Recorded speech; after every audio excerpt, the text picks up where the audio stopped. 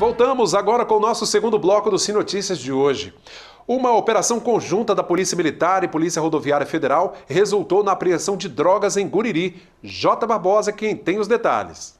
Olá, Cláudio Alves, amigos do Sim Notícias, trazendo as informações aqui de São Mateus e região. Pois é, as drogas foram apreendidas em ações no balneário de Guriri e também na BR-101. O grupo de abordagem da Polícia Militar recebeu denúncias anônimas de que uma traficante do balneário de Guriri estava guardando drogas em um kitnet alugado.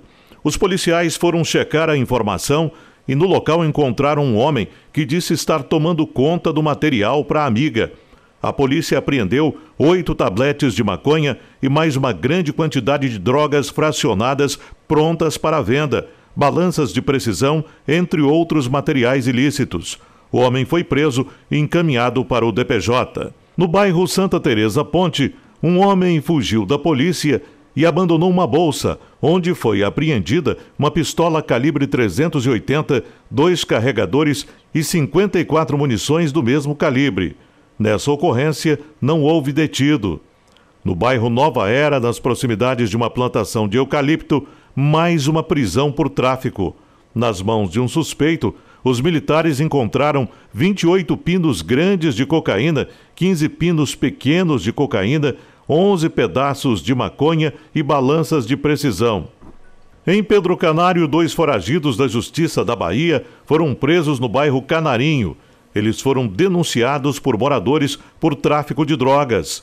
Foram apreendidos com os criminosos um revólver calibre 32, 11 munições intactas calibre 32, um coldre de revólver, 72 buchas de maconha, entre outras drogas.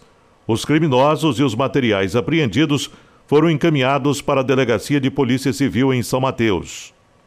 A Polícia Rodoviária Federal prendeu dois homens acusados de tráfico de drogas. A prisão aconteceu durante a abordagem a um veículo com três ocupantes no quilômetro 56 da BR-101 em São Mateus, na noite desta quinta-feira.